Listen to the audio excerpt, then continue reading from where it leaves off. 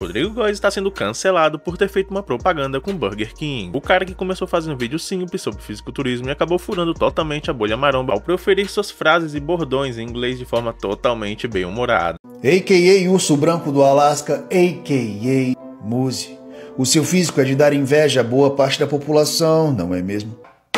Fake Natty! Agora está sendo cancelado pelo mesmo público que o levantou. Muita gente está detonando Rodrigo por ele pregar o fisiculturismo natural e está divulgando uma empresa que usa conservantes em seus produtos. Mesmo no vídeo ele dizendo que o lanche em específico não é produzido com conservantes nem nada do tipo. As pessoas são meio burras, né? Elas não prestam muita atenção nas coisas. Whoa, look at him! It's Mr. Whopper, a.k.a.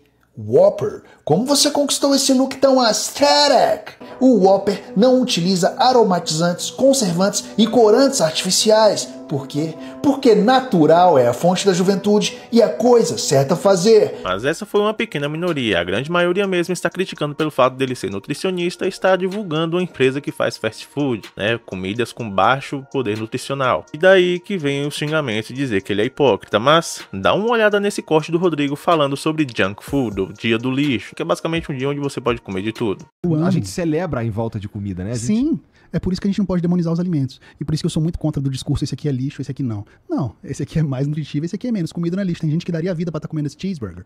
Entendeu? Tem gente que daria tudo pra estar num restaurante bom. Ah, mas isso aí. Então, assim, tem muito atleta, por exemplo. Ah, hoje é o dia do lixo. O cara come 10 hambúrguer. Come mais que uma pessoa normal come o mês inteiro. E, e nesse dia pode, porque é o dia do lixo, entendeu? Então eu prefiro ensinar a pessoa sobre moderação, calorias, porções, e pra ela se divertir, porque são memórias afetivas. Eu tenho memórias. Do do meu pai me levando num fast food após a missa.